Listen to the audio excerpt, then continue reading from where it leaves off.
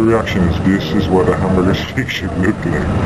Um, oh, just smothered in gravy. If anything, maybe the onions might look overcooked, but nah, I think that's minors.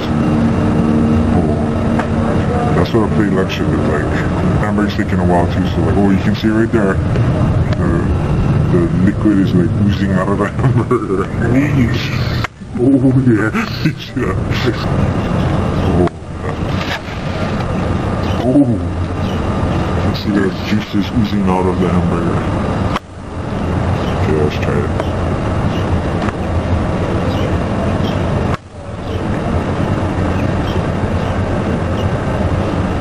Mm, that's good. Super tender the hamburger. Yeah, homemade patty.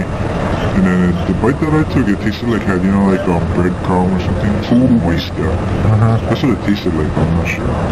It's very good. The gravy is really good too, actually. Is it fried? It's grilled. Oh, it has a char grilled flavor. Yeah. That's what it looks like. Oh my god, that's a mangus patty. Yeah. Yes. Char grilled.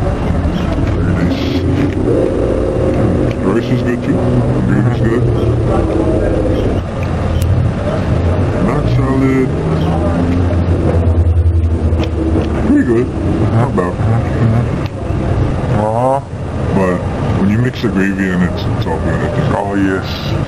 Okay, so my overall impression of the Magic Island concession hamburger steak was overall pretty good. Um, the best thing about it was the burger itself was uh, homemade, kind cooked on the grill, good flavor.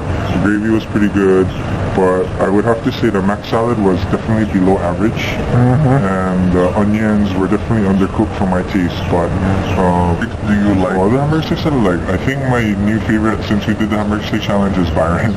Oh, I've been there a couple of times. Byron's is definitely better as far as the Uh-huh. the patty has way more flavor Uh-huh. and the gravy was more